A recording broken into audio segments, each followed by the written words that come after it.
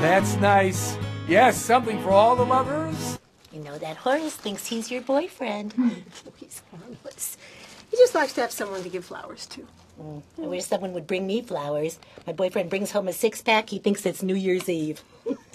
nice do. You crazy hormonal bimbos! Get your hands off my daughter! Anybody with hair like that shouldn't call anybody a bimbo. You know, I haven't busted my ass for these past 16 years to make a go of this marriage to hear you call it a miserable mess. Quickly, quickly. I don't turn you on anymore? Well, fine. But let me tell you something, Buster. I lied when I said I never faked it with you. For the past 16 years, Okay. I um, faked every fucking orgasm. We were both natural born citizens. I'll be needing the same papers for your lost one. That's an odd expression. You don't misplace the love of your life.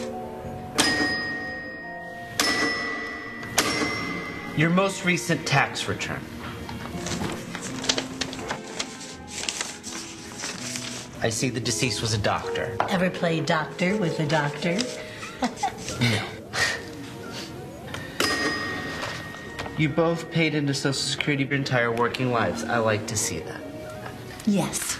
And we were happy to do it. Yes, the system does work. You're in. I- I- I'm fully qualified? For maximum Social Security benefits. Oh, thank you. That means I won't have to move out of our space pod.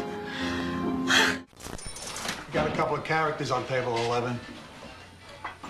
Uh, what can I get you on? Kellogg's Cinnamon Roswell Ruby Root Burial. Come again? Cinnamon Roswell Ruby Root Burial, please. Rinneman? Cinnamon. Rinneman? Cinnamon. Yeah, Cinnamon. Rorschrella. Roswell. Ruby Roo? Ruby Ruby Roo. Ririo. Duh. Scooby Doo cereal. Why didn't you say so?